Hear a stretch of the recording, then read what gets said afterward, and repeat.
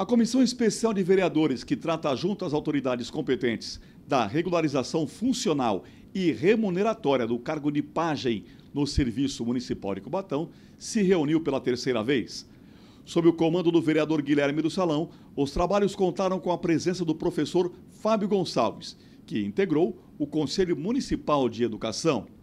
A sua participação foi vista como positiva. Algumas perguntas ali que eu ia estar fazendo, até nem precisei fazer, porque ele já foi passando todo o histórico, né? Como ele participou aí à frente da, do conselho à época, né? De educação, então ele tem, ele, ele acompanhou de perto todo esse processo, até da parte de da, da quando abriu o edital. Os vereadores Alessandro Oliveira e Sérgio Calçados, respectivamente relator e membro da comissão, se fizeram presentes bem como representantes dos professores de desenvolvimento inicial, que se mostram satisfeitos com o andamento do processo.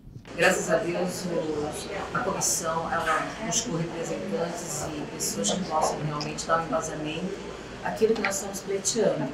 Né? Hoje mesmo nós tivemos o professor Fábio e ele enriqueceu muito as informações que nós buscamos né? para poder chegar ao final desse relatório né? com é, propostas né, que possam resolver realmente de vez a situação da nossa categoria. Né? Então a categoria vem acompanhando e realmente nós estamos satisfeitas. E se Deus quiser, a gente vai levar boas propostas para o ano que vem, para poder qualificar cada vez mais essa, essa atuação da nossa categoria junto ao, ao município de Cubatão. Né?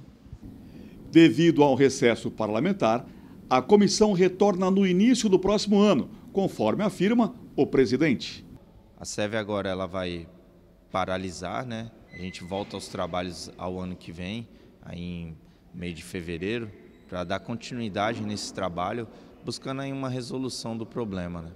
Vamos ver aí se a gente faz, né, um de efeito aí sugestivo, um PL, até para colocar dentro da conclusão da SEV, né? Para ela ter um corpo, para apresentar também uma forma de uma saída, né? Também. Então assim, a gente vai analisar vai apresentar esse PL e também outra sugestão, se for possível.